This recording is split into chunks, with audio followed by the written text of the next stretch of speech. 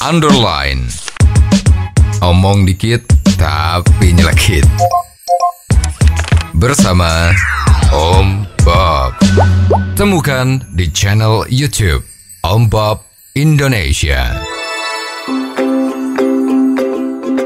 Om Bob, Menteri BUMN Rini Sumarno berencana akan menggandeng KPK menjadi pengawas internal untuk mencegah pejabat BUMN kesandung korupsi. Bagaimana Om Bob menggarisbawahi masalah ini? Ini omong kosong. ya. Ya. Orang yang memeriksa aha. ikut terlibat di dalam pelaksanaan. Ya. Bayangin nih, KPK itu tugasnya mengawasi, mencari ada orang yang korupsi. Ya. Sekarang dia diajak untuk duduk di dalam sebuah perusahaan sebagai pengawas Hmm. Yang menentukan macam-macam di dalam perusahaan itu kan. Ya. Nah, itu yang nggak boleh.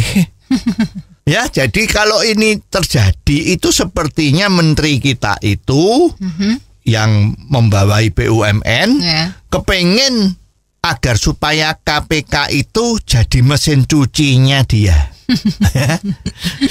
jadi kalau sudah ada petugas atau orang KPK yang duduk di dalam perusahaan itu apa pun namanya, bagian pengawasan, bagian ini, bagian itu, Iya. bagian ngatur eh, aturannya itu ya kan sama saja. Kalau ada apa-apa wah menteri kita atau direktur BUMN kita akan dengan enaknya ngomong. Kan ini semua sudah di bawah pengawasan KPK berarti tidak mungkin ada korupsi. Kan gitu Nah ini kan seperti mesin cuci Baju-baju kotor Masukkan mesin cuci Keluar sudah bersih Ya. Ya, Ini juga begitu Ya perusahaan-perusahaan yang penuh dengan korupsi itu Dikasih orang KPK Supaya duduk di dalam perusahaan itu Apa pun namanya jabatan ah, Jadi mesin cuci Nah ini kan nggak boleh Ya. ya.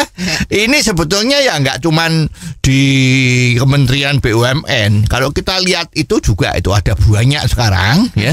Karena orang tuh yang mungkin biasa korupsi. ya. Nah, sekarang ini kalau ada KPK bagaimana nih supaya tidak kena kasus korupsi misalnya begitu. Ya.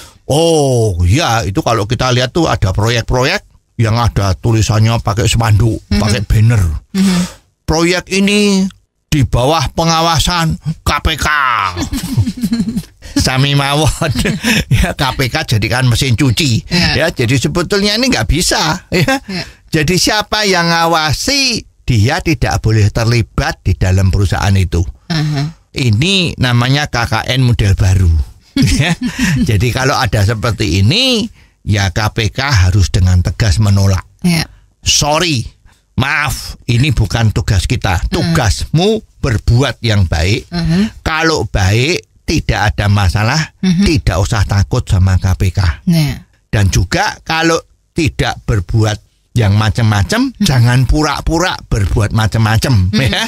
Itu juga kadang-kadang eh, menjebak. Oh, Ya. jebulnya nggak ada apa-apa. Lah ini kan juga bisa susah ya. Betul. Jadi ya saya kira pejabat-pejabat kita semua tuh harus sadar masing-masing fungsinya agar jangan dimanfaatkan oleh orang lain. Kalau bukan dalam urusan korupsi, adakah contohnya Om Bob? Ya, maksudnya begini. Mhm. Ini persis ya, kalau ada sebuah organisasi, suatu perkumpulan, terus ada salah satu anggota Ya. perkumpulan itu ya, yang banyak ngomong, ya banyak mengkritik, kelemahan-kelemahannya itu dikritik sama seseorang itu, ah, terus pengurusnya itu mikir supaya ini orang tidak terlalu banyak ngomong yang bikin jatuh namanya mereka ya karena mereka kerjanya kurang bagus. Lah bagaimana caranya orang tersebut dijadikan pengurus? Ya.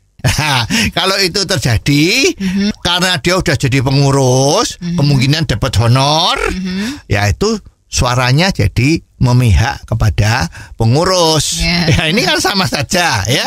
Karena kalau kita korupsi, kemungkinan ketangkep sama KPK.